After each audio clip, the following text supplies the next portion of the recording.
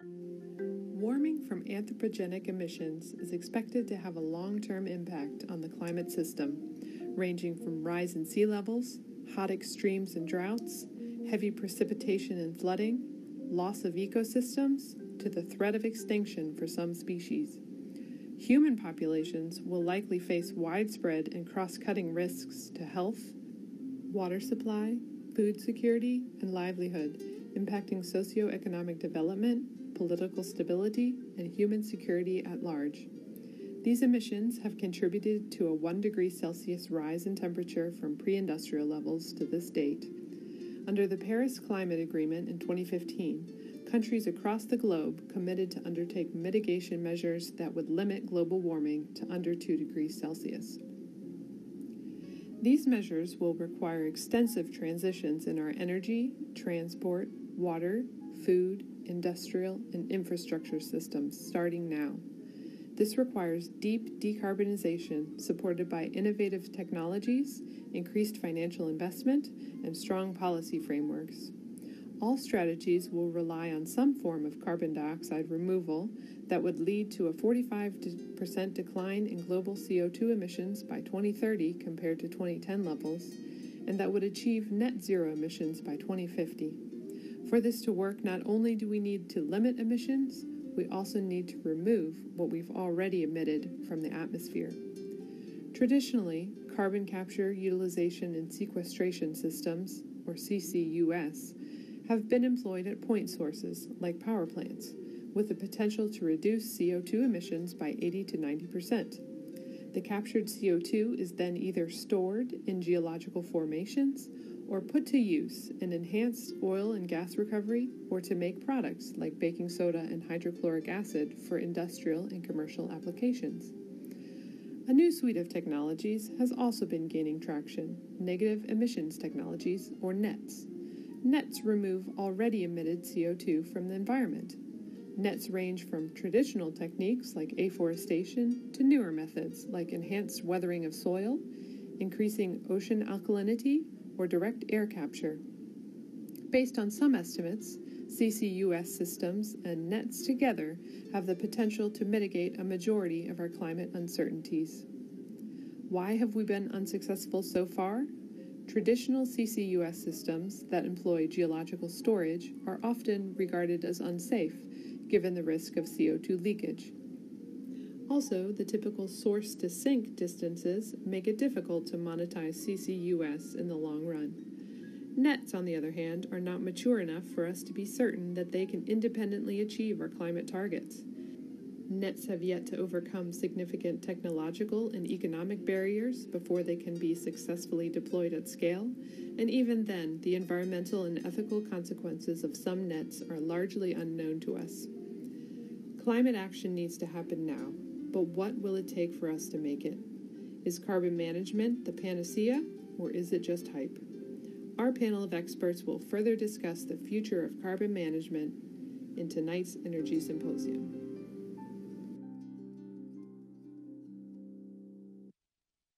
Good evening, everyone, and welcome to the University of Houston and for our second installation of this year's uh, Energy Symposium series where our theory, uh, our theme for this year is critical issues in energy. Uh, tonight's topic, as we just heard, is carbon management. Is it hype or panacea? And I'm Tracy Hester. I'm a lecturer at the University of Houston Law Center, where I teach environmental law classes and have been working on issues related to deep decarbonization and direct air capture from a legal perspective. It's my great pleasure to introduce all of you here tonight, and thank you for joining us and braving the Arctic temperatures outside. Uh, my pleasure to introduce everyone and then speedily get out of the way so they can uh, bring the fascinating discussion to you. Uh, our panel is excellent, and uh, I'd like to give thanks to every one of them participating tonight. Uh, but, of course, like the Academy Awards, that's not the only thank you. I have a couple of other folks I want to make sure we thank as well. In particular, I want to thank Houston Public Media.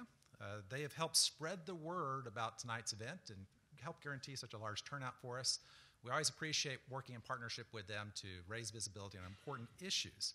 I also want to recognize the President's Energy Advisory Board.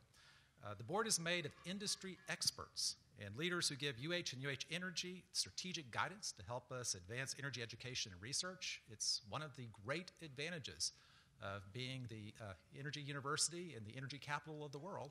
Uh, we have an enormous well of expertise and talent to tap to help us uh, chart the right course. Also, want to thank our UH Energy Fellows who are on our faculty. They contributed these symposiums, and uh, I know that at least a couple of you are out in the audience tonight. Uh, is uh, they are also participating in other programs, events throughout the year. And last and certainly not least, I want to thank our student volunteers.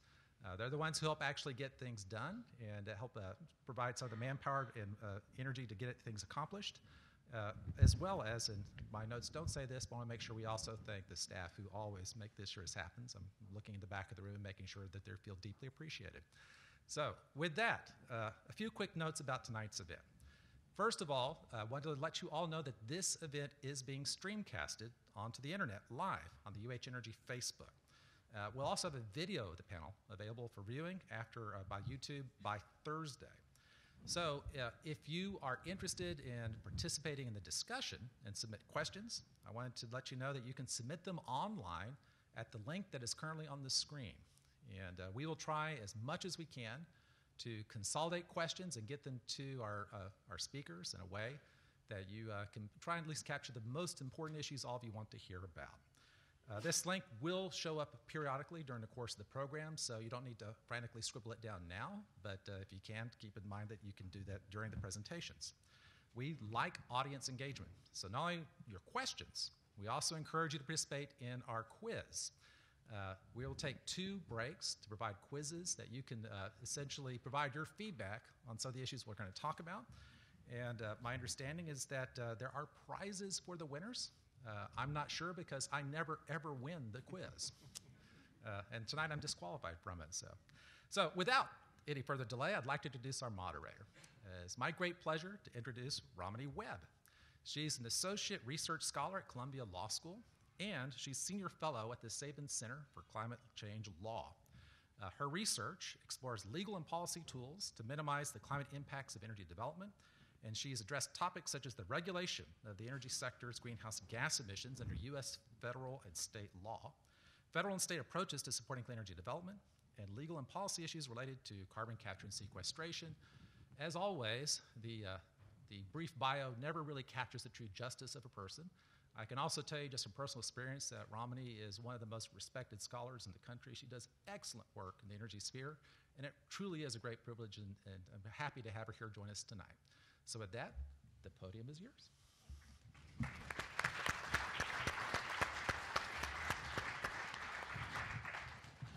Well, thank you, Tracy, for that very kind introduction, and um, thank you for including me in this event. Tracy did not mention that I spent a few years at what may be classed as the enemy here at UH, um, at the University of Texas at Austin.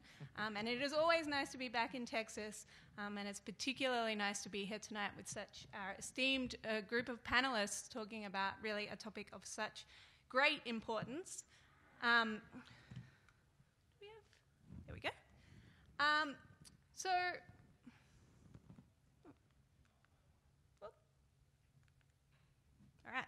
think I figured out the clicker.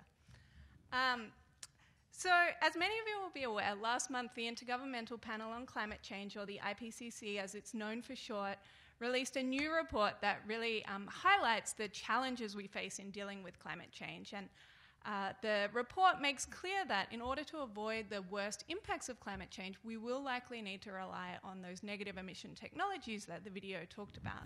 Um, but as the video made clear, those technologies come with some risks. So, really, uh, tonight's panel is intended to explore both the opportunities and the challenges presented by negative emission technologies.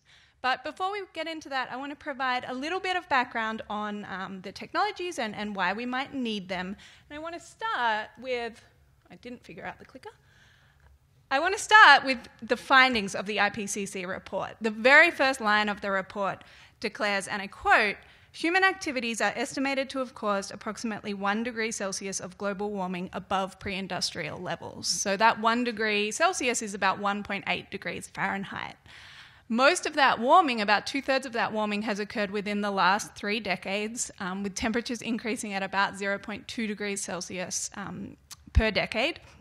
Uh, and that increase in temperatures has corresponded, of course, with a sharp rise in the atmospheric concentration of greenhouse gases, including carbon dioxide, which is released through a variety of human activities. Um, globally, since the 1970s, uh, anthropogenic carbon dioxide emissions have increased by about 90%. Um, we have seen some leveling off of emissions in recent years. Um, between about 2014 and 2016, global emissions were relatively stable, and um, that led to a lot of optimism that emissions had finally peaked and we would soon see a decline in emissions. But that didn't prove to be the case, and in 2017, emissions, global emissions again increased. Um, Studies show that if future emissions um, trends follow those of the past and action isn't taken to address climate change, isn't taken to reduce emissions, we're looking at temperature increases of about 4 to 5 degrees Celsius or 7 to 9 degrees Fahrenheit by the end of this century. And a recent report commissioned by the World Bank concluded that temperature increases of that magnitude um, would have serious, potentially devastating risks, um, but really that the full extent of those risks can't be accurately assessed because a four or five degree world is just so different from anything that's been experienced in the past. So scientists have long told us that in order to minimize the risks associated um, with warming, we should aim to limit any temperature increase to around 2 degrees Celsius. You heard in the video that that was the goal adopted in the Paris Agreement. The Paris Agreement also included um, a, an additional line that called on parties to take additional steps to limit warming to 1.5 degrees Celsius above pre industrial levels because it said doing so would significantly reduce the impacts of climate change. And that statement was included uh, primarily at the insistence of small island nations that argued that even if temperatures were limited to 2 degrees Celsius, the resulting impacts would really threaten their survival. And there is growing evidence that temperature increases of 2 degrees Celsius are far from safe, as many people have thought. Um, so the IPCC report concluded that there will be a marked increase in climate impacts if temperatures increase by more than 1.5 degrees Celsius. So as we move from 1.5 degrees Celsius to 2 degrees Celsius, we're likely to see um, much more severe and longer lasting heat waves, much more pronounced changes in precipitation patterns, uh, which will lead to more intense droughts and floods. And all of that will have flow on effects on um, natural and human systems. So if you take sea level rise, going from 1.5 to 2 degrees Celsius results in an additional 10 centimeters or about 4 inches of sea level rise, which doesn't really sound like much, but the IPCC estimates would result in an additional 10 million people globally um, being affected by coastal flooding. So, in order to limit warming to 1.5 or even 2 degrees Celsius, we are going to need to substantially reduce our carbon dioxide emissions. Um, the IPCC report um, and many other scientific studies have developed what are called emission reduction pathways that reflect um, the reductions we will need to achieve over time in order to limit warming to 1.5 or 2 degrees Celsius. Um, the 1.5 degree pathways generally require emissions to reach net zero between 2045 and 2055, so really not very far in the future.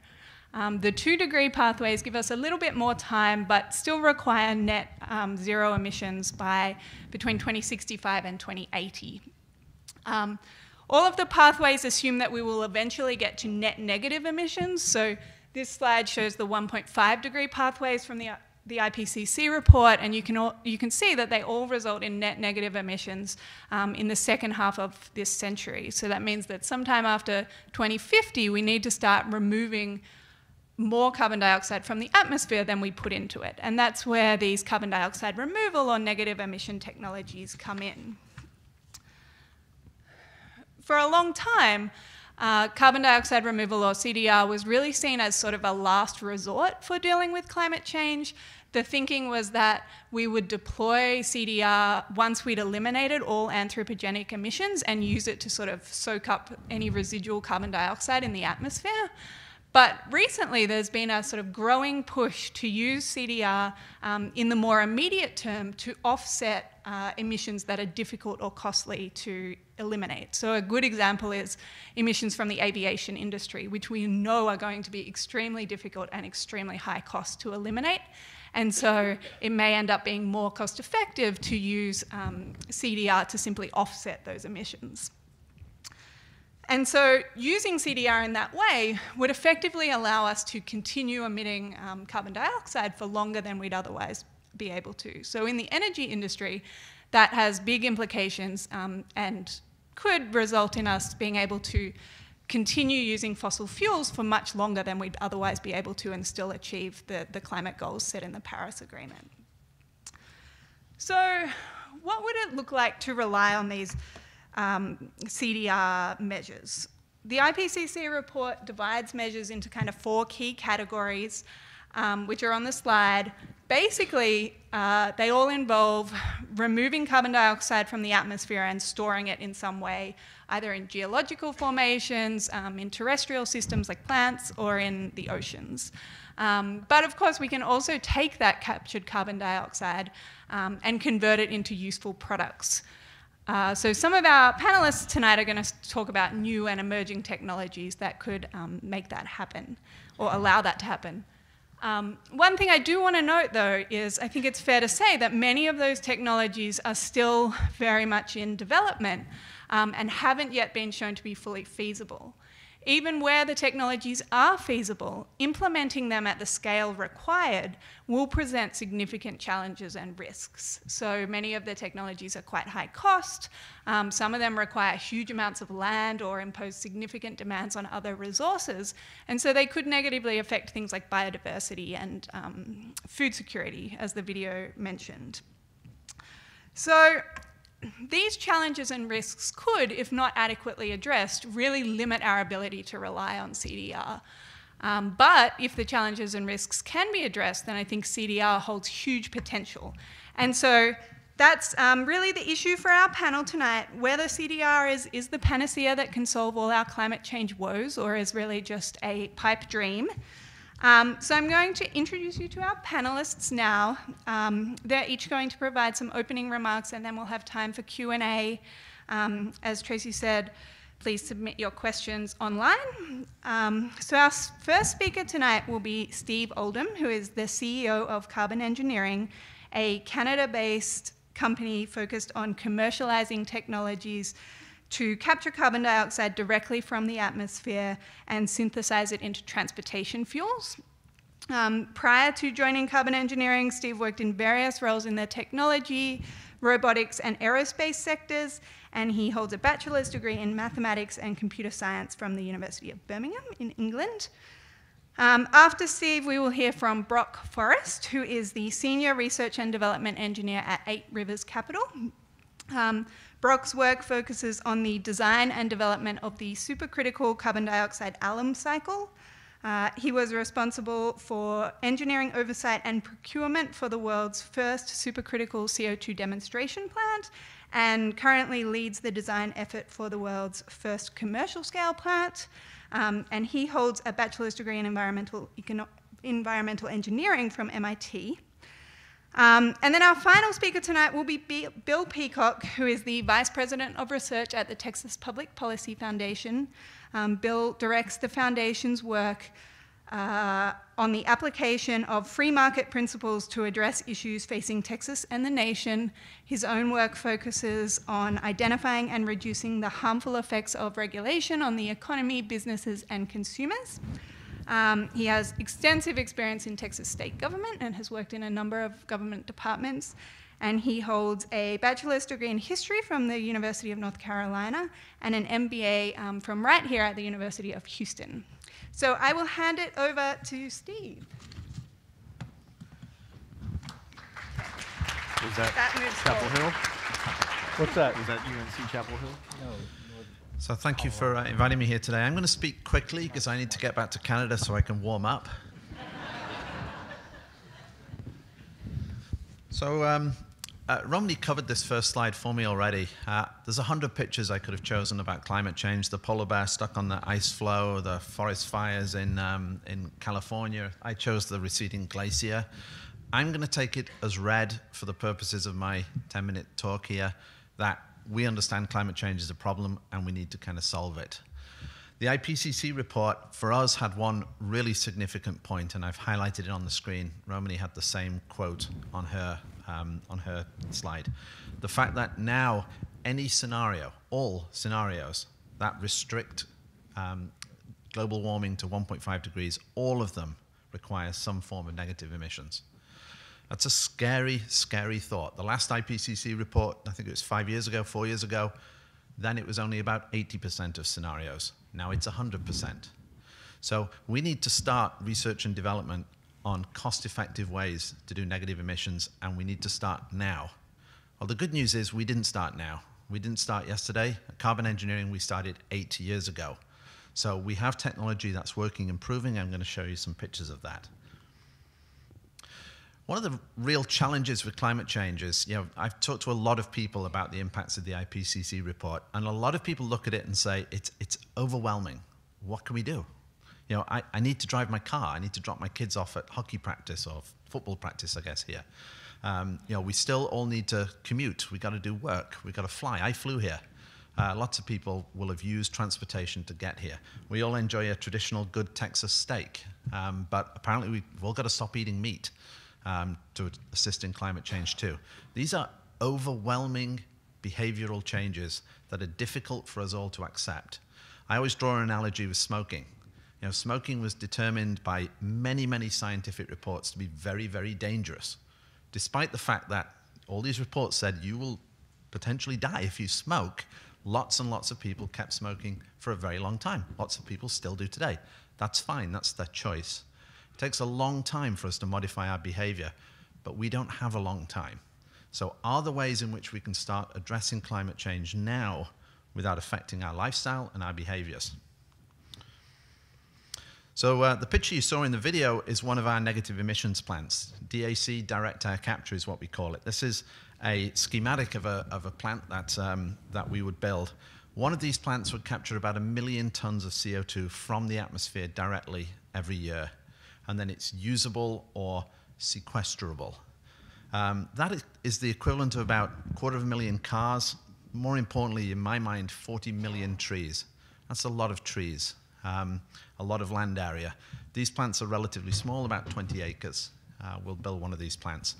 Because CO2 in the atmosphere is everywhere and uniformly distributed, this plant could be in the center of downtown Houston, or it could be in the middle of the Sahara Desert. It's going to have the same impact for collecting CO2 from the air, and that's a big advantage.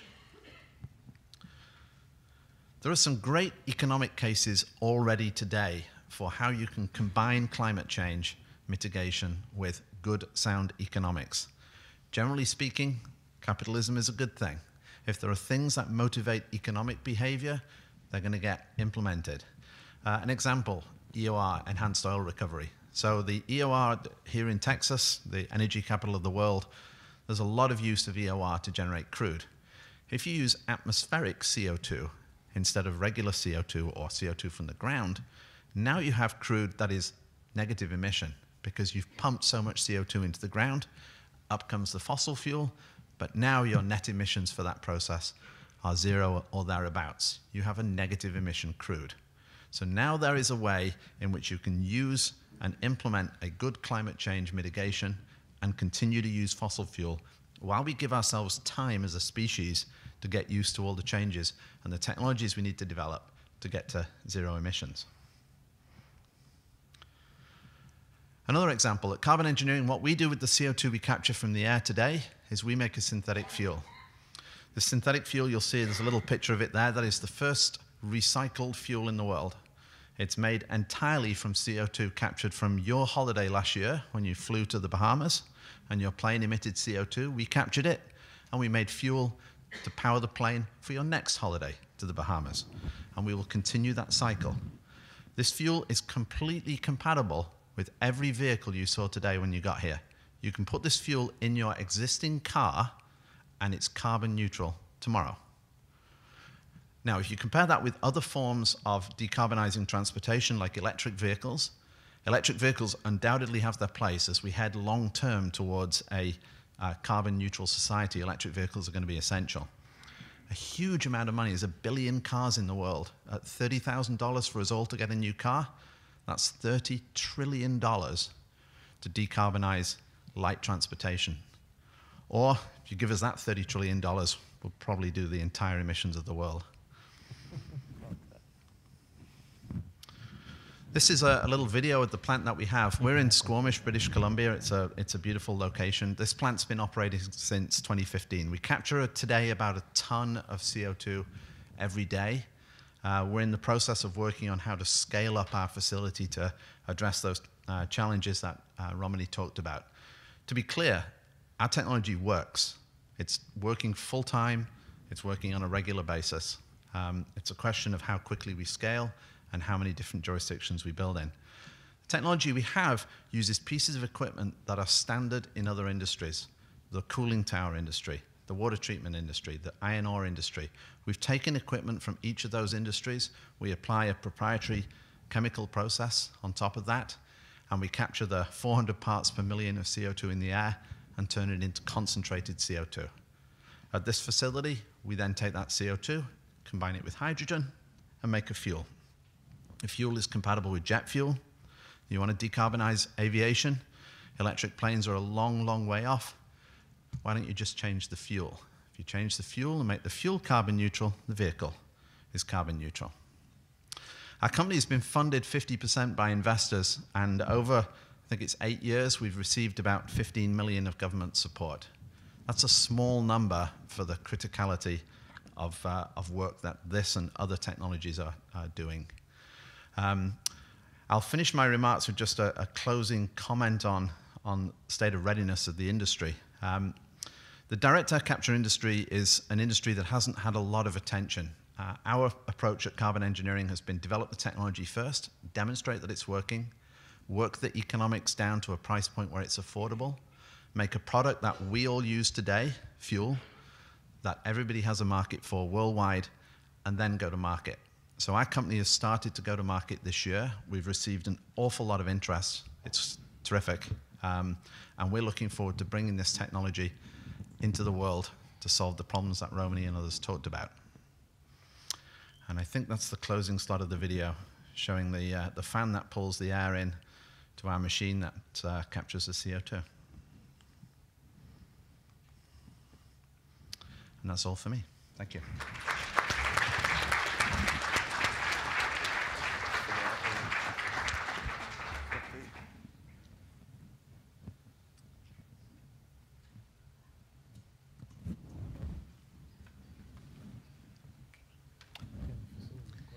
think we are going to do a Kahoot quiz.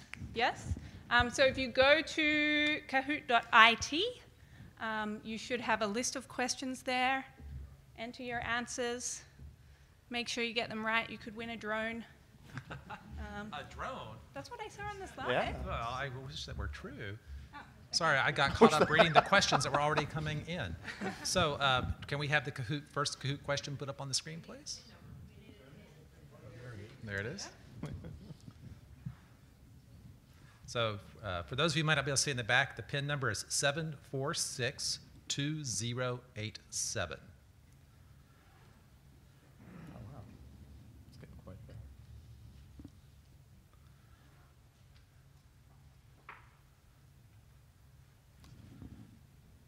and I must appreciate I appreciate everyone putting you know, playing it straight with putting our names in. I've only seen one Pikachu so far. All right, we say to be leveling off. Okay. Wait, wait, a few more adding in. I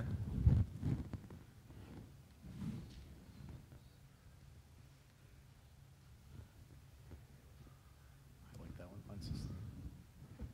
All right. Let's give about another minute or so. Okay. as soon as I say it, of course, a few more people dash in.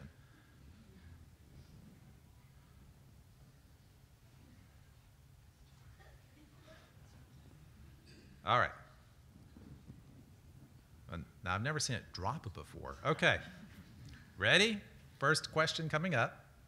Which greenhouse gas is the most abundant and contributes the most to the greenhouse effect? Water vapor, carbon dioxide, methane, or ozone? And I can see from the pace that everyone already knows the answer to this question. And the answer is water vapor. And John is in the lead. Number two, the goal of the Paris Climate Agreement is to keep global warming a below one degree, below two degree, below 2.5 degree, or over one degree centigrade. 66, 74, and answer is B. And most of you nailed that one. John, however, still has the lead. John, John wants his drone. John wants the drone. According to Webb, how many fewer people are at risk if sea level rise is reduced to one, 0.1 million millimeters? 1 million, 5 million, 8 million, or 10 million? And the answer is 10 million, and all, a very large percentage of you got that. Wow. John, I am very curious to see you at the end of this, which is not a technological approach considered under the negative emissions technologies. Direct air capture, ocean fertilization, low battery, solar radiation management, and afforestation. A little bit slower on this one. Okay, and the answer is C, and 51 of you got that. And yes, no surprises. Yeah, right. And last, according to Oldham, how many tons of atmospheric CO2 can one DAC plant capture? 100 tons, 100 million tons, 250 million tons, or 1 billion tons? And the answer is B, 100 million tons. Is it John? Oh! John, I'm so sorry. All right, thank you for playing. We will be doing another round after our next two presentations. All right.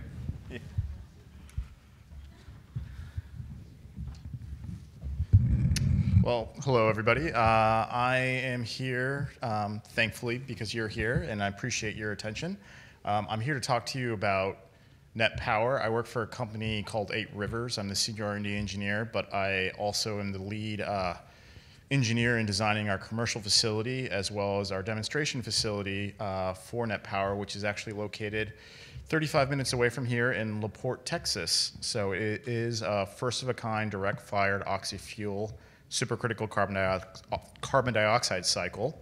And I'll talk about that a little bit, as well as the future we see for that technology and how we address climate change and collaborate with uh, other low carbon technologies around the world. So for perspective, that's the facility we recently constructed down in LaPorte, Texas. It's a 50 megawatt uh, thermal plant um, it is industrial scale, and as far as I'm aware, it is the largest supercritical CO2 power facility in the world of any kind. I'm very proud to have been part of that project.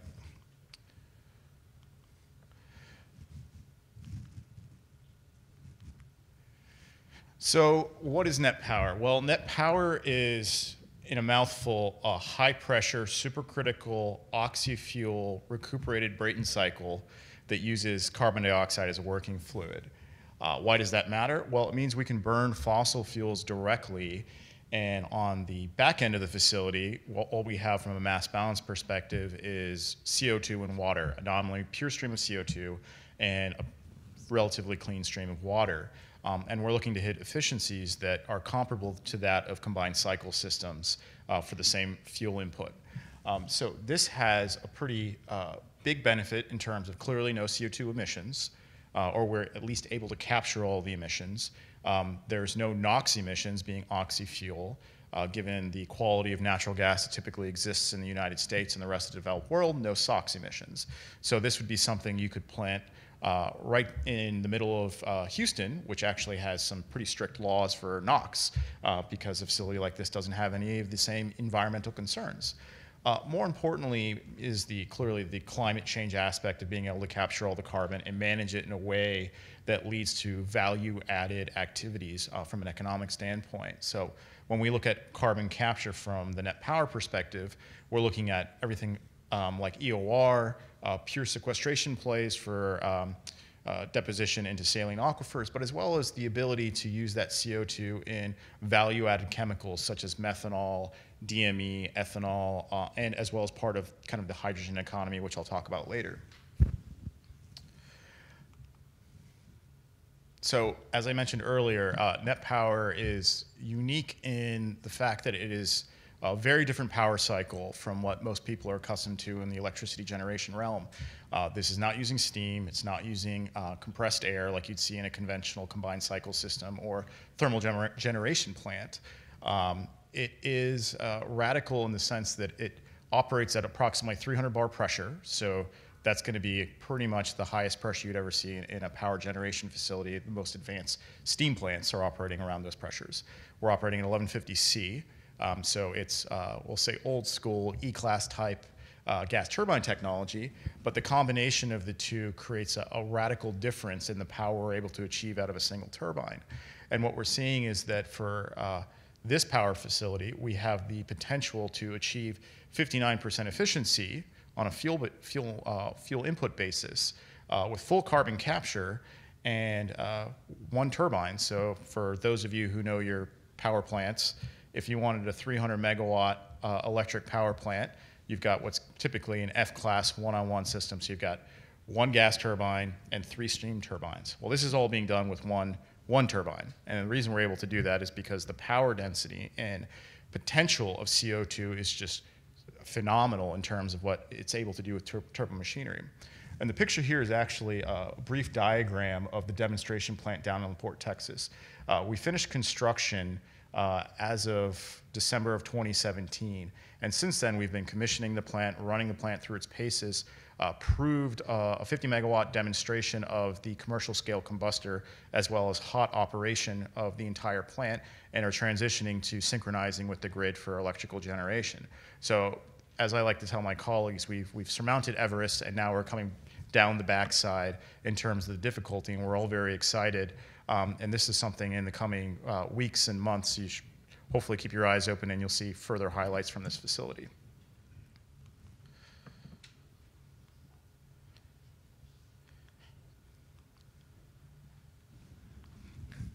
So while we have developed a demonstration plant that successfully is on its way to prove that we can use fossil fuels in a responsible way that captures carbon and allows us to turn that carbon into economic value, we've also been developing our first commercial plants.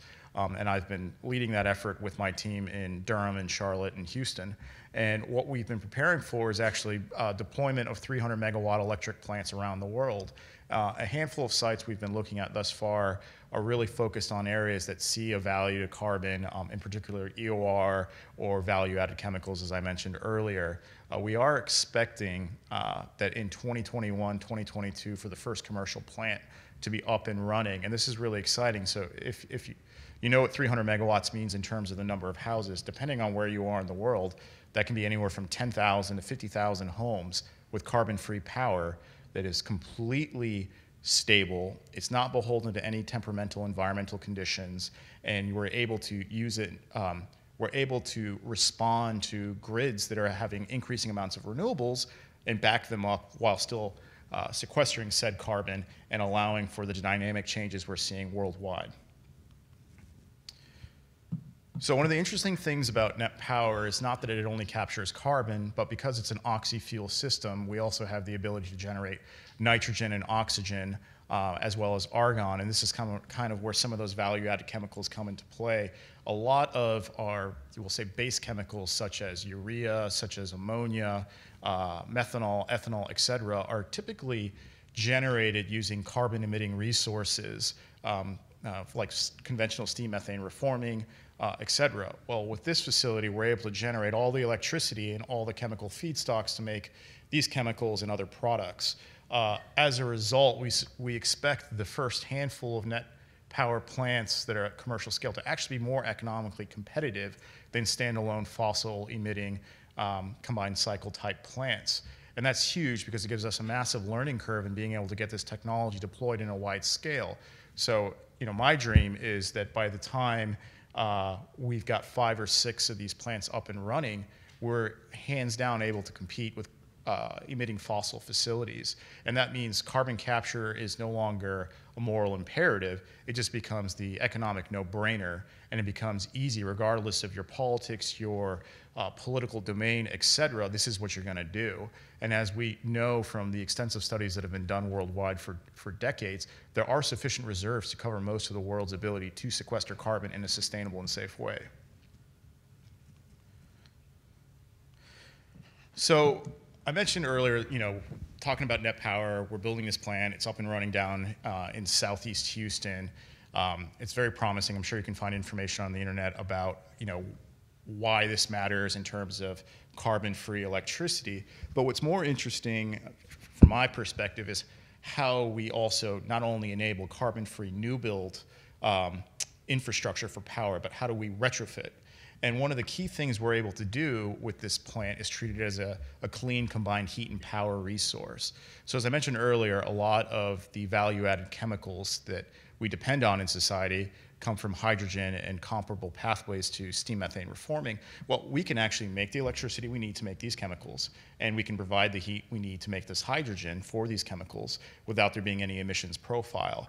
And, and that's massive because when you start to look at where most of the emissions come from, in particular the United States, uh, the power sector is not as large as one might expect. It's actually transportation and industrial resources such as uh, concrete, um, let's say olefins manufacturing, et cetera, uh, where you actually get about an equal split across the three sectors. Um, and those sectors don't have the same luxury of being able to implement post-combustion capture technologies that have been predominantly focused towards uh, the kind of chemistries and pressures and temperatures that power plants generate. You know, when you look at a steel facility or a concrete facility, radically different chemistries, radically different temperatures, and they can't handle the changes in operation without there being a disruption to productivity. So we see net power as a combined heat and power resource to creating clean hydrogen that we expect to be less than a dollar per kilogram, all the way as low as 80 cents per kilogram, simply by piggybacking off its recuperative capabilities. And then the reason that matters to the people in this room is because we actually have hydrogen turbine capabilities. Uh, the vast majority of new turbines in the world can burn hydrogen directly. The problem is cost. Natural gas is cheaper. You got to get hydrogen down to a cost point where it makes economic sense to run your facility that way. And we think with our clean combined heat and power integration, we can actually not only take natural gas as a raw input, we can then turn that natural gas and its resources into clean hydrogen to help retrofit the rest of the world. And this, this is potentially a game changer because uh, all the major OEMs already own this technology.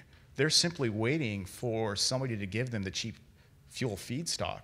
And the hydrogen economy has been you know, promised for, for decades. This is something that's been kicked around. But the answer always is, is it clean is it cheap?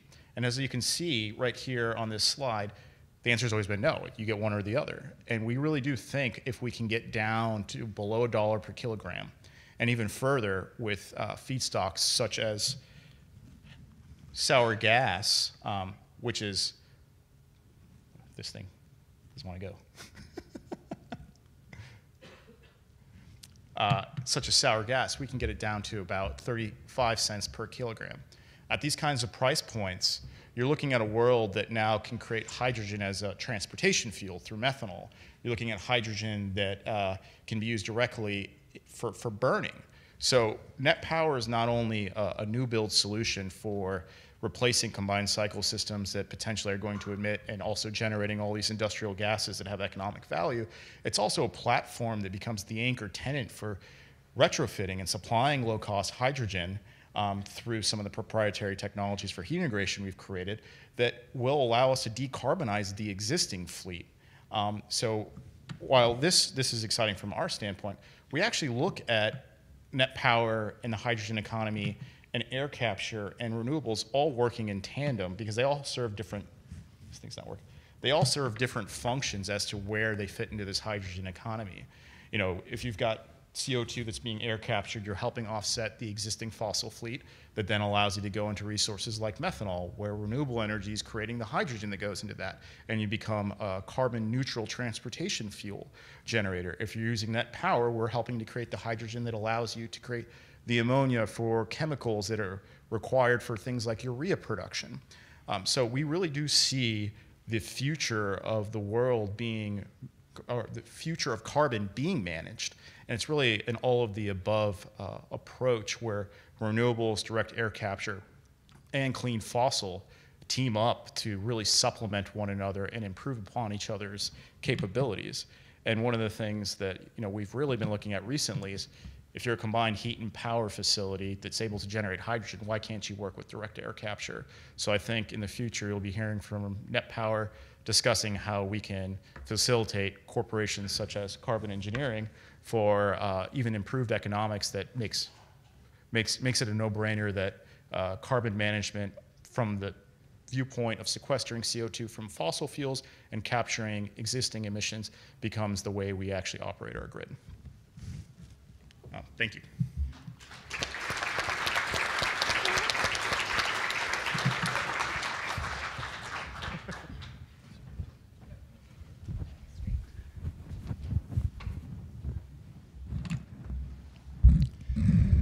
Good evening. Thank you. It's a, it's a pleasure to be here, uh, back here at my alma mater, uh, where I got my MBA uh, just a few years ago. And, um, you know, when I was, uh, you know, considering uh, what I was going to talk about today, I, um, you know, it just came to mind how, how amazed I am, constantly amazed I am by human ingenuity.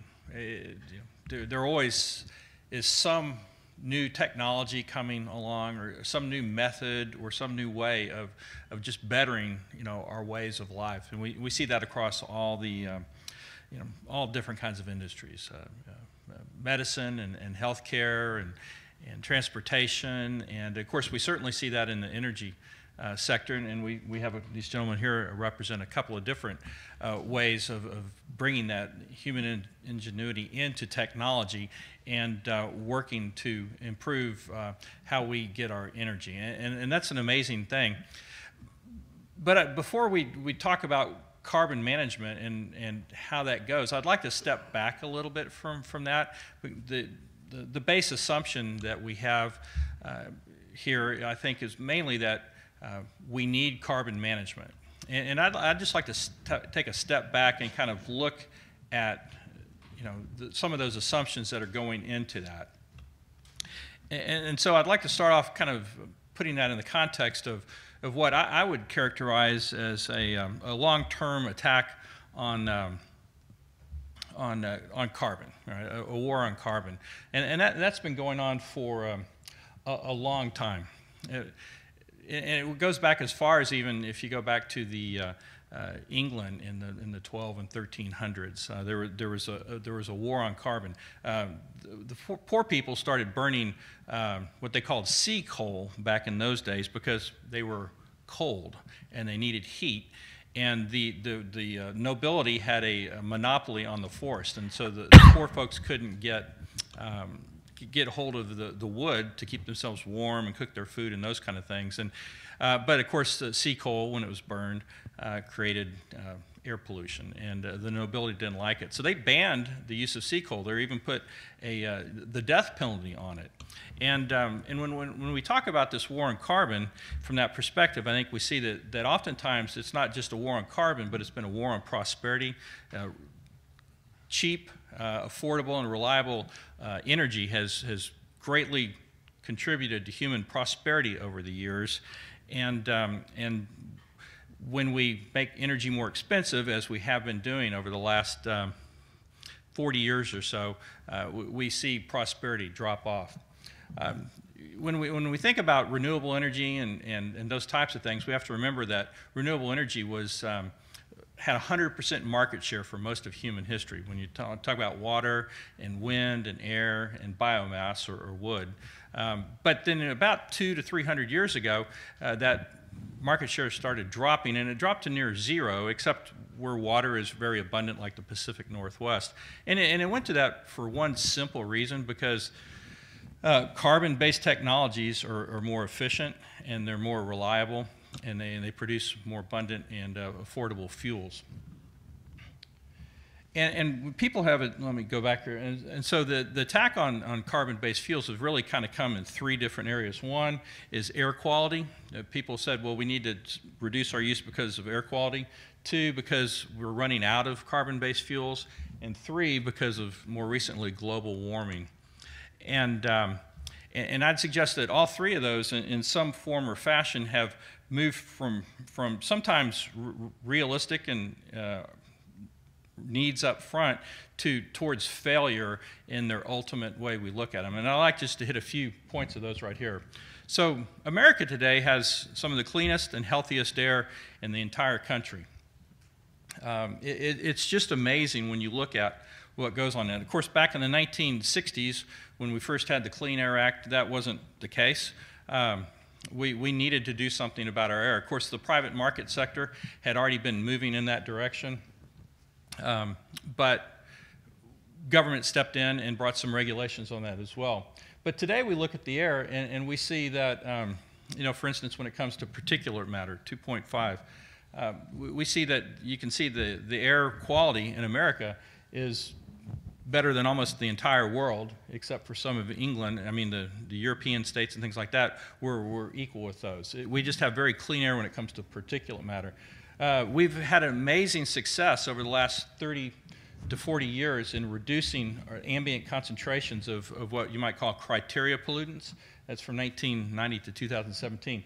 All of them are going down, uh, and, almost, and all of them are at or below uh, the, uh, the, the criteria that's set by the EPA. And then we've done all that, and you can see down here, uh, if you combine all those together, that bottom line down there is the reduction overall in these criteria pollutants. But we've done all that at the same time while we've been increasing our economic prosperity. Right? Um, it just economic growth goes, goes up, uh, and and the um, air quality uh, continues to increase too as particulates go down and those types of things. So efforts today to say, well, we've got to stop using carbon because it's destroying our air just aren't true. And, and, we've progressed from you know, a real need to what we, I would call failure. Uh, of course, the second uh, attack on carbon based fuel has been at one time started when they said we're going to run out of carbon based fuel. You can see here from the Club of Rome uh, back in the 19, 1994 uh, oh no, 1970s, they were saying that we're going to run out of uh, all these resources. We're going to run out of uh, oil and natural gas by 1994. We're going to run out of a lot of other uh, of these um, minerals that we really need. But of course, nothing could be farther from the truth. Uh, we've, we don't haven't run out. In fact, uh, we've um, uh, vastly increased our resources. Here's oil reserves that uh, were very high in the past, have gone down, but we're, we're skyrocketing now because of new technologies, and we're getting ready to set an all-time high in oil, in oil reserves. Natural gas production has reached an all-time high. So clearly, um, unlike clean air, which was an, indeed something we needed to address, there's never been a problem about whether or not we're going to run out of, um, of uh, uh, mineral sources of energy, carbon-based sources of energy. And finally, it comes to the, um, the, uh, the, the, question of uh, carbon uh, management and global warming and, and climate change. Um, today's temperatures are within historical norms. Uh, you know, you saw a slide earlier that showed um, how the temperature had increased over the last so, so, many years. I think it's within this century or so. But if you go back uh, to, to um, this side of um, you know about 2,000 years or so, you, you see that temperature has always had very great natural variability, and we're, we're in that realm today. Uh, I'm not saying that CO2 emissions and, and humans haven't had contributed to that, but it's um, not like we are outside of historical norms on that. Um, here, here's just a, just a graph to show that how, how much CO2 is actually in the air. Uh, not very much. It's a very small bit of the, CO, of, of the overall part of the atmosphere. and what we put into the atmosphere, CO2, is even much smaller than that, of course. Um, the um, emissions of CO2 are declining uh, today, at least in the developed world, and the, uh, the United States is, is actually leading in that. And we're leading in that even though we don't have any CO2 emission limits uh, like uh, most of the rest of the developed world has.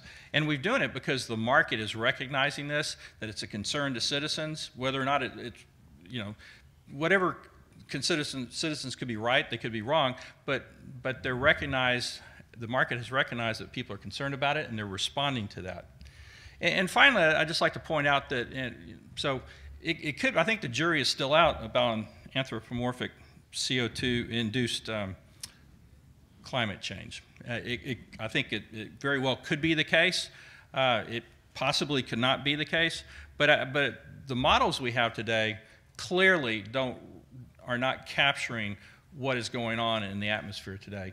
Uh, the, the model, CO2 models we have today are heading towards failure, and you can see uh, the red line there is the projection of where these, the, uh, all the CO2 models brought together would take us and, and you can see where the temperatures actually have been over the last uh, few years. So, um, so while it might be a debate about how much we are contributing to um, uh, climate change as humans, what's not debatable is the climate models aren't capturing that in a way that helps us move forward in this process.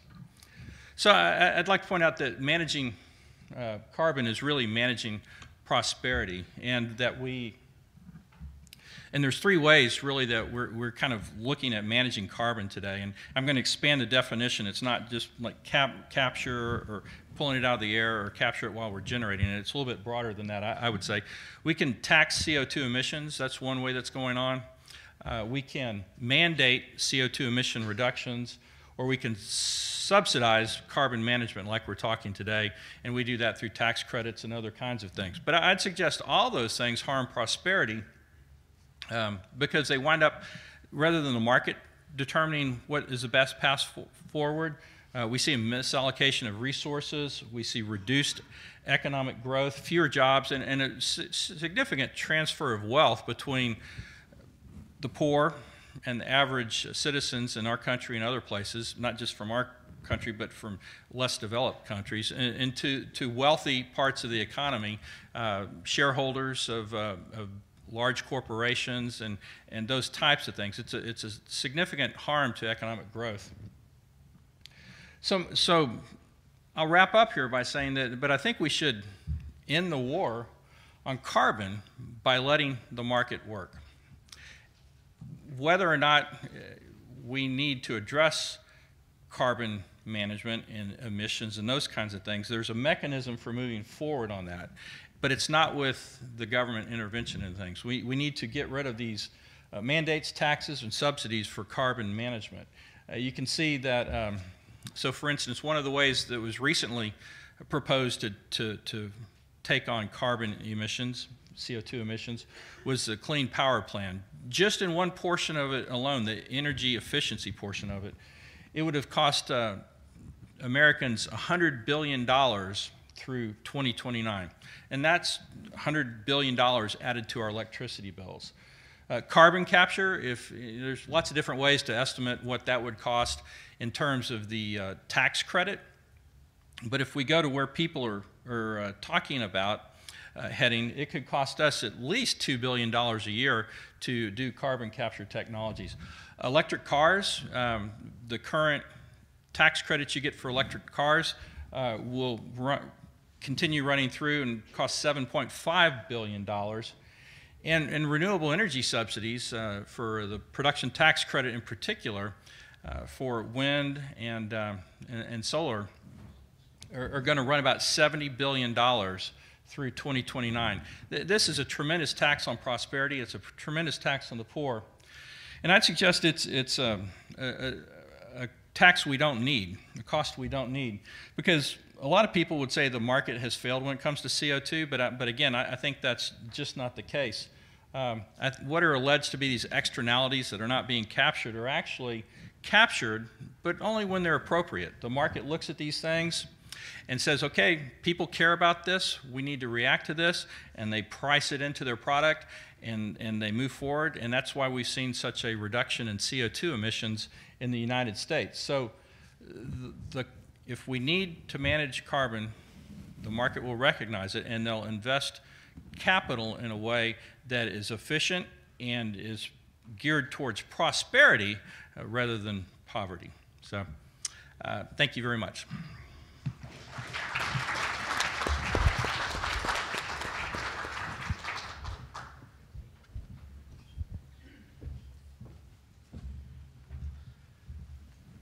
Uh, time for our second round and to see if John can redeem himself. So uh, can we have the uh,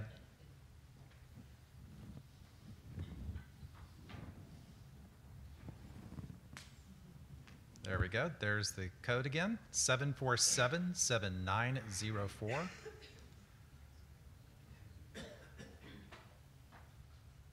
And I believe you're going to have to enter your numbers again, it looks like.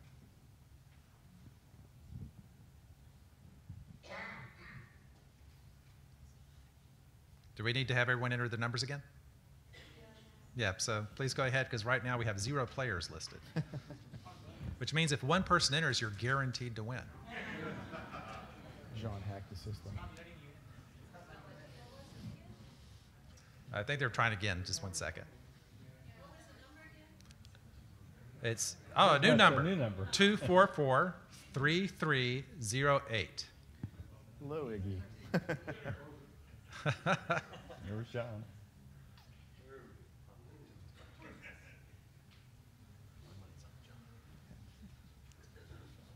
Revenge victory.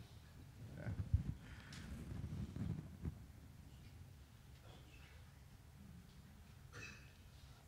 This is when we find out John's playing remotely from Moscow. Wow, we have more than we originally did. Okay, so you ready? Question number one Which of the following is a method of carbon management? Carbon capture sequestration, cap and trade, negative emissions technologies, or the ever popular all of the above? And all of the above wins. And Dre at the top. When did the Club of Rome project project oil and natural gas to be depleted by? 1934, 1988, 1994, or 2014? Wasn't that And virtually everyone got that. The time under the wire at 50. oh. And Un Petro is on top. John is working his way back up the rankings again. Hang in there. What are three ways to force carbon management according to Peacock? Tax CO2 emissions, mandate CO2 emission reductions, subsidize carbon management, or all of the above? All the above. And virtually all of you got that one. And we're slowly creeping up.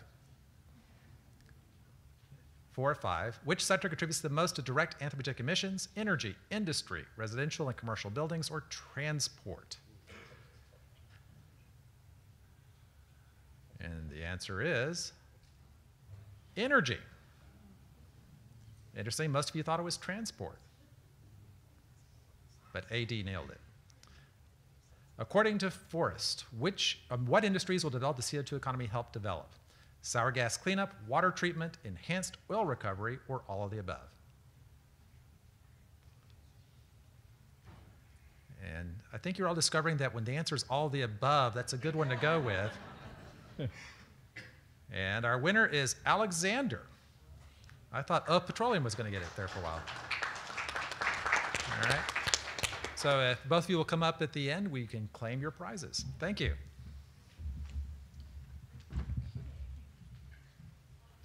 So I think we're going to open it up to Q&A now. Um, and we have a lot of questions coming in. If people have additional questions, um, just submit them via the website and we will try to get to them. Um, the first thing I want to ask is really for you two. Um, around, you both said that these are kind of proven technologies, you've got working systems, um, but we know we need to scale up these technologies really quickly. So the IPCC report says around 2050 for net zero and then moving to net negative. Um, what's the time frame for scaling up your respective systems? Uh, real for You need to turn your mic on. Down here. on you. Green light? Okay, just talk loud, I guess. Um, for Net Power, realistically, we expect in two to three years, the technology should be at a point in terms of manufacturing and construction to be able to deploy uh, grid-level solutions. I think the real question is, is just the rate of building those plants because they are new builds. You're not going to be able to replace the entire fossil fleet. And that's kind of why I brought up the whole hydrogen economy aspect because that can be done much more quickly in terms of retrofits than new builds from the ground up across the board. So all the technology for our commercial scale um, equipment exists. Uh, I could literally write a PO and go get the equipment, with the exception of the combustion turbine, which is something we have been developing for several years with Toshiba, and that's in the final stages of development for commercial units. Just as you Go. finish. So, The, the- the answer is as the answer is as fast as you can build it. Yes, okay. Um, it sounds like my microphone's working. You keep that one. uh, so pretty much the same answer for us, actually. Uh, because we use technology used in other industries, we don't have the equivalent to your combustion device. Each piece of equipment is readily purchasable. So frankly, it's, it's just driven by economics and customers. And if the value proposition for either the fuel or for EOR makes sense today, and we think it does, um, we're confident we can scale quickly. Um, we've been asked repeatedly how many of your plants would offset the entire um, emissions of the world. And uh, so the answer is about 40,000. And you know, you may think that's a ridiculous number, but equally it's not a ridiculous number. That's less than there are power plants in the world, for example. Um, we would never propose that you rely on one solution for something as important as decarbonisation, um, but it's not entirely unfeasible. All right, so you mentioned that cost is somewhat of a limiting factor for, at the moment, and we've had a lot of questions about the economics of these Sure. technologies. That's something that Bill also brought up in his presentation. You know, the technologies are um, supported through subsidies, as are a raft of other, really basically every other source of energy we have in this country, um, both renewables and fossil fuels. So I wonder if you two can speak a little to the um, sort of economics with and without subsidies. And um, Bill, if you want to jump in and um, sort of reflect on, on what they say. I'll go first this time, um, just for variety. Uh, so, firstly, on on subsidies. So, uh, so I'm a believer that market-based incentives are there to try and shape future economies for issues that are of significance that affect a uh, an entire country. Um, subsidies or incentives should be, by definition, a short-term process. They should help industries get over the hump of initial implementation. The challenge we face right now with our business is we have a pilot plant, we have very cost effective economics for full plants, but who wants to build the first plant? Everybody wants to build the second or third. Go get, retire all the risk with some other guy, and then when that's all done, we'll come in and, and build a plant. So that's a great example of where incentives can make a significant difference to enable a technology that's seen as having long term value get to market. But here is where I actually agree with Bill entirely. Um, these incentives, there's no point having incentives if the end economics doesn't work. The incentives have to uh, fit into an economic system. So, for example, the production of our fuel, sat today, we're about 20% more uh, cost than fossil fuel. And my guess is if you guys drove to the pump tomorrow and our fuel was there on one pump and next door was regular fuel, our fuel was completely carbon neutral, but 20% more expensive, everybody's going to buy this one. That's just human nature. So we have to retire that 20% of cost. We have a plan to do so. And by the time we've done so, we'll expect the incentive programs will have disappeared uh, and we'll be cost competitive. I think from our perspective, we were somewhat cynical when we first started developing Net Power. We were developing a technology for a US-based market where we saw climate change as a problem, but we didn't expect there to be any government assistance or any, any, any kind of supplementation whatsoever. And um, honestly, we, we have had very limited to no assistance from government um, for the development of our plant in Texas, uh, in Southeast Texas. So we've always said from day one, we've got to be able to compete head to head with technology that's 30 years older than us. And we've got to be able to stand on our own merits as far as being able to sell electricity into a grid that is wide open and, and dynamic in terms of costs. Now, we're not silly. We've also looked at the fact that we can sell the CO2 to EOR uh, organizations. We've got all these other industrial gases. And we've always looked at that as helping us get up the learning curve so that we uh, have a return on investment that you know should exceed significantly what a standalone power plant that doesn't do anything produce electricity is capable of achieving. So that's how we kind of looked at it was we got to go head to head. It's just got to be being environmentally responsible is also being financially responsible. And that's kind of the direction we've taken. Now, I'm not opposed to um, government supplementation in terms of helping getting you over that learning curve. Uh, but as was just mentioned, it, it has to have a timeline, otherwise your technology's failed. It's got to be able to work within the construct of the way a, market behaves, because otherwise you're trying to radically change culture, which I actually think is more difficult than solving the science and engineering problem itself. Yeah, I think when it, when it comes to looking at the role of subsidies, I, I tend to have seen in my experience that uh, subsidies don't bring innovation to the market. They, they, they keep technologies that aren't going to work in business longer. Uh, we, we, we've seen that in, in, in, multiple ways here in Texas. Uh, for instance, uh, wind subsidies. You know, we, have had the production tax credit in, in place now for over 20 years.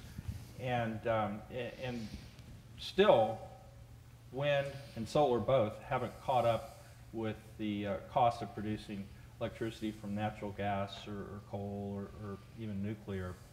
And, uh, and the subsidies on a per megawatt hour are significantly more for renewable uh, fuels today or renewable production generation than they are. For instance, uh, coal and natural gas get about 64 cents per megawatt worth of subsidies. Uh, wind is up in the $20, and then uh, solar is multiple times past that. But we also see this going on in, in conventional, uh, the problems with subsidies in conventional fuels.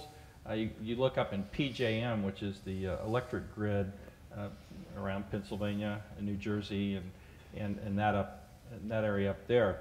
They're giving subsidies to coal and natural gas uh, based uh, generators. Here in Texas, the, the generators in coal and nuclear and natural gas just came to the Texas Public Utility Commission about three weeks ago and asked for $4 billion a year electricity tax. That, that's not going to do anything to improve the environment or anything else.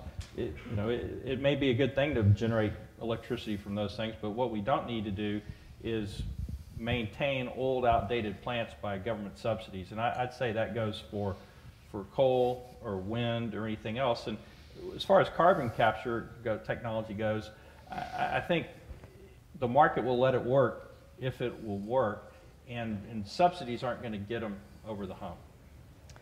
Okay, let's talk about the carbon tax point. You made the point in your presentation that you know carbon is often described as an externality, and we know it's not priced in the market um, currently. And uh, Steve, from what you were saying, you know, you were making the point that if someone pulls up and gas is more expensive from one source than another, they're going to choose the cheapest source. But if we're not factoring in those carbon externalities, that's not really an equal choice. So does this mean we need a carbon tax? And Bill, I know you're probably going to say no. So what is your opposition to a carbon tax? And let's start with Steve. Um, you know, I, so I'm not the policymaker. It's, it's not my job to figure out what the best way to um, enable the technologies that we require to develop is. Um, I, you know, what I will say is this: I think, you know, we have many, many, many climate scientists who are telling us that we need to reduce CO2 emissions. So, assuming that to be the case, the real key enabler, and again, I, I, this is where again I agree with Bill. The real key enabler is you, the general public, because if the general public believes that climate change is an issue and we have to do something about it, then the pressure on governments to produce some form of carbon pricing in one mechanism or another, and there's many different models around the world, and the pressure on companies to adjust um, to become, for example, the first carbon neutral energy company in the world. If you were able to tell your shareholders and the general public you're the first carbon neutral energy company in the world, my guess is you're going to do well for a, as a company. So to me, the education is to the general public, um, and the general public will assess whether or not carbon is a critical issue. You know, I look at the, the, the numbers for 2100 scare me. We can't afford to be wrong. You know, if we get to 2080 as a species and say, God, we were wrong, we should have listened to those crazy guys on that panel back in 2018, um, it's too late. We can't take that risk. You know, this is my grandkids, it's your grandkids we're talking about living in that world. So my view is educate the public, guys like you coming out to listen to people like us talking today will create the market incentives and the pressure on companies. And whether that turns into a carbon tax or, as Bill describes, the entrepreneurial spirit and the capitalistic spirit that the US and many other nations have, uh, have developed using, to me, that's, that's, it's, it's all good, whichever way. So, believing that climate change is a problem and that it will have moderate to severe effects sometime in the future, I think uh, some sort of pressure does have to be applied. The question is whether you go the carrot or the stick approach. I think carbon taxes more often than not are viewed as the stick approach. And anyone who's taken an intro psych course in college knows that the carrot almost always works better for motivating people. And we're seeing that in our own business where, you know, a lot of energy companies are worried about being future proof because they're worried about the future stick. But we're able to convince them we're A, going to be exactly the same cost as that new build you're going to go with anyways, and B, with the industrial gases you can sell and things like the carrot of 45Q, which is uh, a government tax incentive for sequestering carbon, not a tax. Uh, there's a lot of carrot there, and that's generated far more interest. Um, so I think it's it's there has to be some sort of, we'll say, organized system level uh, nudge, but it has to address human psychology. And I'm more of a fan of the carrot than the stick. Well, I, I love uh, carrots and sticks, right? It just depends on it depends on what you need, and and and I, th- I think um, certainly when you talk about a, a carbon tax, I, I, think that is in the falls into the the uh, stick category. Uh, we, the Texas legislature will be in, uh, they come around every two years here in Texas, and they'll be in session in, in, early January, and they just started filing bills this week, and one of the first bills filed was a, a carbon tax here in Texas uh, at uh, about $5 per uh, million metric tons, I think it was. Any, anyway, about $350 million based on uh, CO2 emissions here in Texas. And, uh, and, and I, I, just don't see a reason for imposing that cost on Texans, who, and much less across the United States, to raise the cost of their energy that way. Because I, I, suggest, uh, as I alluded to earlier, I don't think we know that CO2 isn't being priced into the, um, into, into the energy prices today. In fact, I would suggest it is being priced into, uh, into the market because as, as I talked about again, the, the United States is leading the way in reducing CO2, and it's because in a market-based economy, companies respond to their consumers. Unlike when you get over into to Europe, I mean, it, it's carbon management over there and, and, and, the way they're doing it there is nothing but corporate cronyism. And, and you have all these companies fighting over this, this you know, the allocations and, and the cost. And, and trying to get the best profit out of the deal. they- they're not really concerned about their customers, they're not really concerned about climate change, they're concerned about making a profit off the money that they can get through the government. And, and unlike in the United States, where it is totally different, where the consumers are put first, and, and it's, whether I agree with them or not, uh, people in the United States are concerned about climate change, and, and the market is responding. I think you're right that people are concerned about climate change. I think the reason that um, US emissions have declined by so much is because we have had such a surge in natural gas, as you showed, due to new technologies that have made it so cheap. I don't know that it has a whole lot to do with climate change. But Well, I, I would say, if you look at where oil prices were when fracking was booming, and you were looking at where NGLs were at the same time, there was a massive financial incentive to go after those resources. Natural gas was a waste product nobody cared about. We happened to accidentally develop a lower carbon source Yeah, fuel exactly. than coal, and we just bottomed out the gas prices. And then once uh, you saw OPEC uh, cut production, or actually oversupply and drop oil prices, you saw all that collapse. But they still had the ability to supply natural gas. So I don't know if the market really responded to people wanting lower carbon Yeah. resources. I think the market responded towards people wanting oil and NGLs, and At we, low we got prices. and we got this waste product that happened to cover our butts in terms of being able to decarbonize. So like, I I agree the market does respond, um, but the market's responding because everybody is getting somewhat panicked, and a lot of the energy companies we're talking about are multinational. So they're having to deal with, you know, their European consumers. So let's say you're an oil and gas company operating in Texas, but you're still exporting product. You're, you're not beholden just to Americans, you're beholden to a, a global citizenry. I, I, I think we're just, in my, my view, we're really blessed with the resources we have in this country. And we're really lucky that we have the flexibility for technology to be implemented as is seen fit. But I don't want to count on luck. That's kind of how I look at it. All right, well, let's shift our focus a little bit. Um, and we've had a lot of questions about hydrogen, which both Steve and Brock mentioned. Um, you know, this idea of the hydrogen economy and hydrogen replacing various other fuels that we currently rely on has been around um, for years and has never really gone anywhere. Um, my understanding is because of the sort of challenges involved in using hydrogen, transporting it, things like that. What do you see for the future of hydrogen? How are we going to overcome those sorts of issues? Go ahead. Um, so it's kind of a twofer. So the first is clearly transporting hydrogen, and it's not really feasible on the global scale in terms of liquefying it, compressing it, putting in ships like, like LNG. But what is possible and easier than shipping LNG is shipping a lot of these hydrogen derivatives like ammonia and methanol.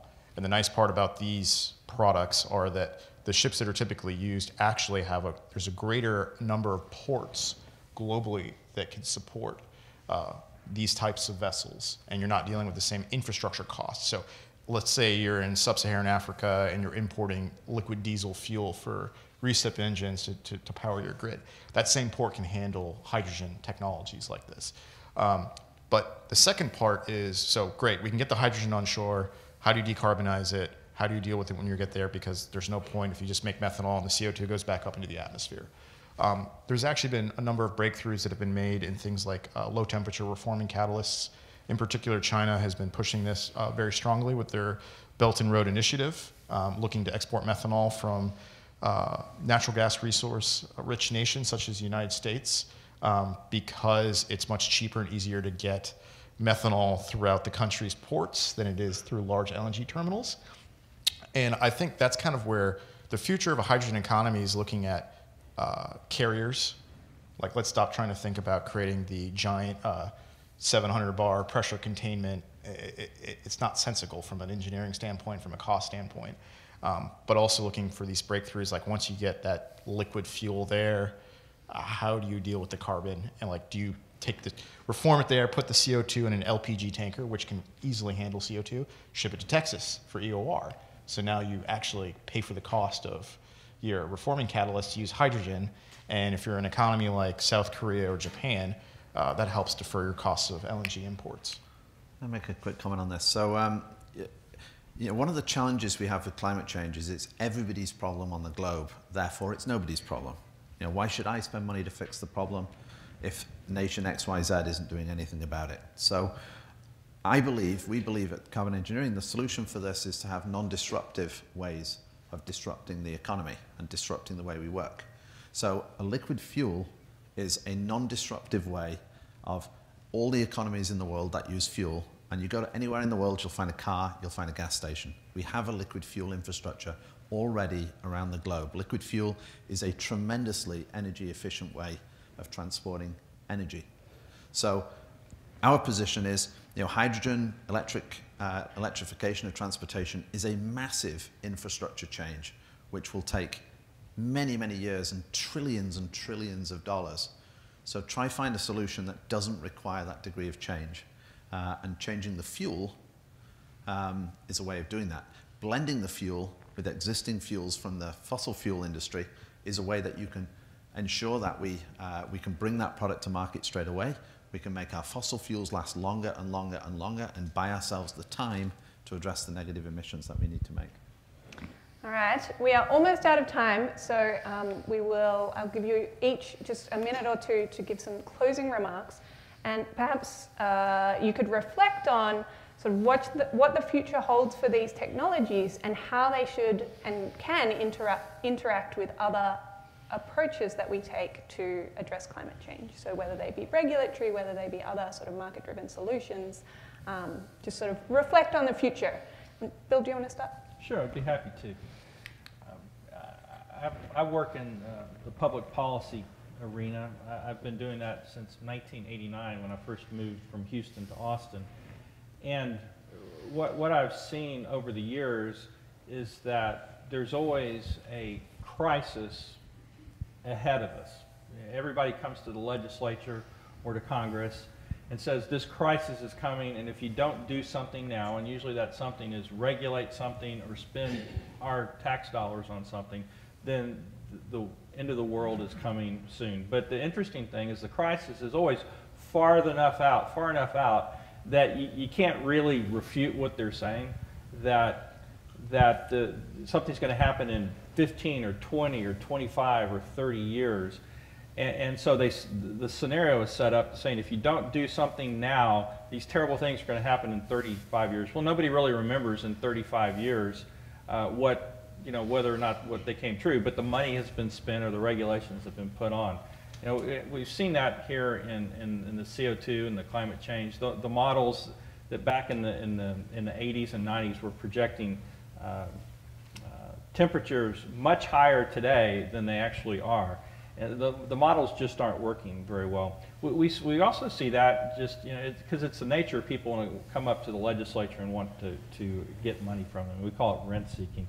We see that today in the uh, electric market and from the, the coal and oil and I mean the natural gas and nuclear generators coming looking for $4 billion a year energy tax on us. Uh, but it's not the first time they've come on. The, the reason for saying they're coming here today because the lights are going to go out in Texas if we don't give them this $4 billion. But they actually came to the Texas legislature and back in 2011, 12, and 13 and made the exact same case. Uh, and it was, it was, in this case, it was just three or four or five years ahead. Well, those three or four or five years have passed by. We still haven't seen the lights go out in Texas. So, so when we look at these kind of issues, we, we think people should step back, really examine these things and, and generally let market-based market solutions solve these rather than government interventions which are taking money uh, out of our pockets and giving it to other people. Brock? So predicting exactly what's going to happen is to a certain degree a fool's errand because it's almost impossible. You know, as we're trying to figure this out, uh, we're also learning how to figure it out at the same time. So it's learning by doing. Uh, but what I will say is, I, I, like to use the following analogy. I think cl- addressing climate change, whether it be through policy or through entrepreneurship or however, whatever the means are, I think it's a moral question. And the analogy I want to use is, you know, pretend there's two houses on a small island nation about to get hit by a hurricane. One house is made out of concrete, one's made out of sheet metal. You know, us as Americans, we live in the house made out of concrete We'll be able to weather the storm. We will survive the day. Uh, we will have a mess to clean up. Uh, but do you care about your neighbor? And that's kind of where my motivation comes from. And beyond that, you know, I don't want us spending tax dollars in the future on piping water from East Texas to West Texas or from Colorado to California because there are 20 million people who live in a metropolitan area and climate has changed the weather patterns enough that aquifer and water rights no longer exist like they once did 50, 60 years ago when the laws were written. So I think that's kind of what, what we're at risk here in the developed world. It's like, how do we want to spend our money? Do we want to go to space or do we want to build canals? You know, that's really how I look at it from, from the Western luxury standpoint. So it's kind of a moral question. How do you want your, your literal neighbor to be treated and how do you want, you know, your neighbor across the world to be treated? Ah, it's, a, it's an interesting question to answer in the context of the panel. Um, you know, I, I look at this really, really simply. We just can't afford to be wrong on this. And, and if we're wrong, then, and we haven't done anything, that the impacts on your families, your kids, your grandkids is dramatic. And there's no two ways around that. And you know what? If I'm sat here on this panel 50 years from now, first of all, I'll need a wheelchair. But secondly, I would be delighted if we were wrong, because we'll have avoided the problem. That's the fundamental thing. So, you know, the US has developed uh, tremendously, and, and the, the rising prosperity that, that has happened on this nation has been because it's been at the forefront of technical innovation. Whether that was innovation in the past at bringing fossil fuels out of the ground, whether it's the Silicon Valley innovations of the last 20 years, or whether it's the carbon economy that I assert will become a key part of the next 20 years. My view, let's go and use capitalism at its best. Let's produce that technology. Let's dominate that market. Let's get wealthy on the products. And if we happen to save the planet at the same time, fantastic. If we were wrong, que sera. Right. Please join me in thanking our panelists. So we have um, a reception immediately outside the room. We hope you will all stay for that. And There we go. First of all, uh, let's thank again our panelists and our moderator for a fabulous presentation.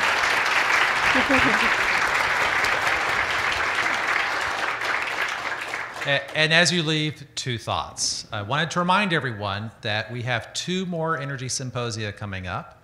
Our next one is on natural gas, uh, global fuel or landlocked asset. Should be interesting. There's, you, they're reading some fascinating work about floating LNG plants and how they might actually unlock some stranded assets. And then our last panel uh, will be discussing uh, wind energy offshore in Texas, which has been a, an interesting perennial issue. We hope to see you there.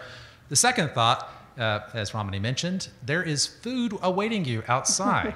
so uh, please enjoy. We look forward to conversation. Our panelists will be available if you would like to talk with them at, at the reception. And we look forward to seeing you at our next event. Thank you. Good job.